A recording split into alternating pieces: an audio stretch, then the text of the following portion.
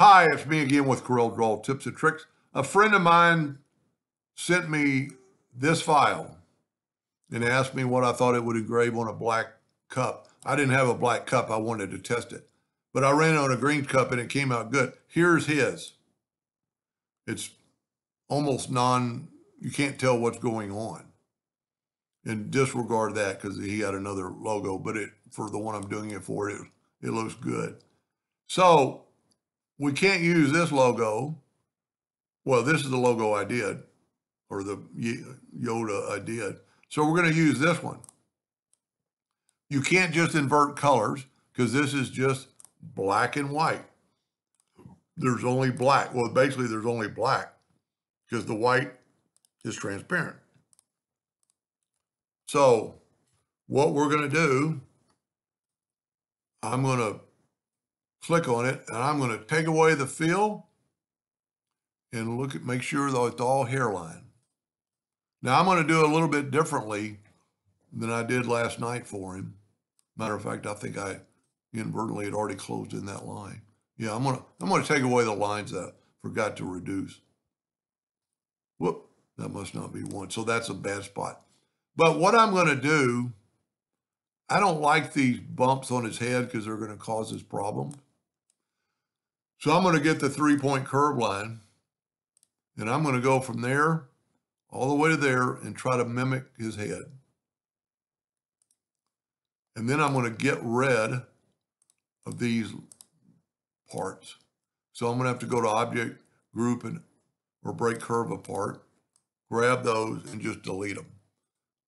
Last night I filled in between them and it, I think this is going to be a lot better. So now we just need to fill in the gaps so the Smart Fill tool won't leak. I'm going to continue using the three-point curve line, even though that could be a straight line. I could put a little bit of a curve to it. If you need a straight line, all you have to do is um, just double click on it before you move it. I'm going to go ahead and go from there to there, give a little bit of curve. Uh, I'm going to straighten that out in here in a second. I'm going to go like right here. Now, while we're here, I'm going to straighten this out. And for the one I'm doing it for, yeah, I met I met this gentleman probably 15 years ago at the APA show, and I think we've both been every year since. And I'm just going to go down there and see. I, I'm going to make that a straight line.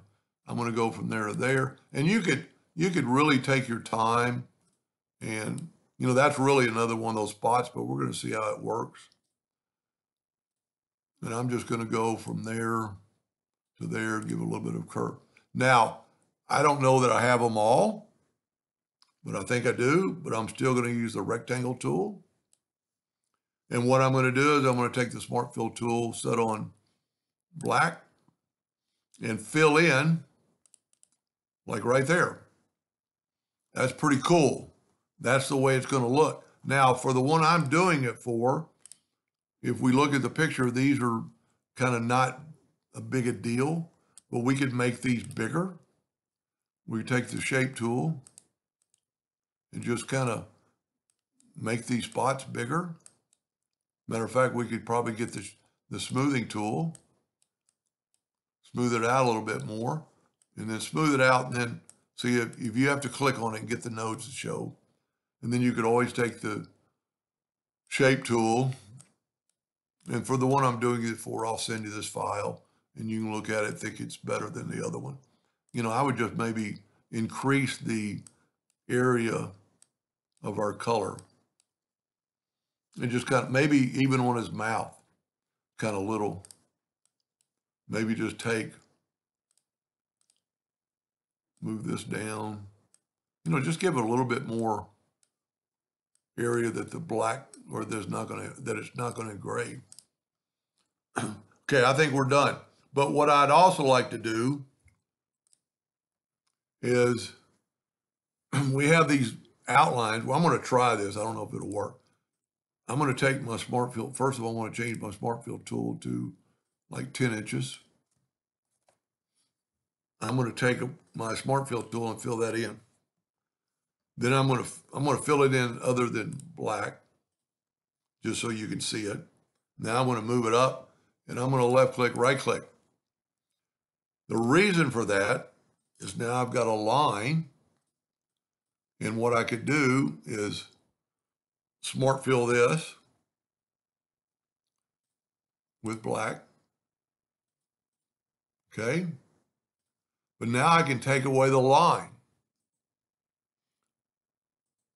And see, it took away my red lines, but now I have a new line. I can just nudge it back down. And at this time, I wanted something other than a hairline. And see, I think his, his mouth might be too big.